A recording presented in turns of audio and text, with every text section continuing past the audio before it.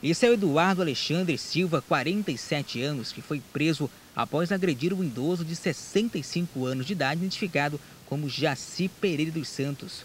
O caso aconteceu na BR-319, após a ponte sobre o Rio Madeira, aproximadamente 5 quilômetros aqui de Porto Velho.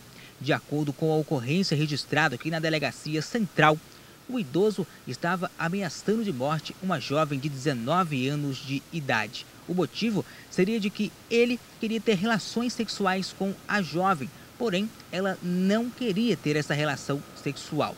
O idoso então teria prendido a vítima na residência, porém ela conseguiu escapar e saiu gritando. Um vizinho, o Eduardo, ao defender a jovem, acabou agredindo o idoso a pauladas. O mesmo que foi socorrido em uma unidade de resgate do Corpo de Bombeiros até o Hospital e Pronto-Socorro João Paulo II. O resultado final dessa história é o seguinte: o Eduardo acabou preso pelo crime de lesão corporal e encaminhado aqui para a central de flagrantes.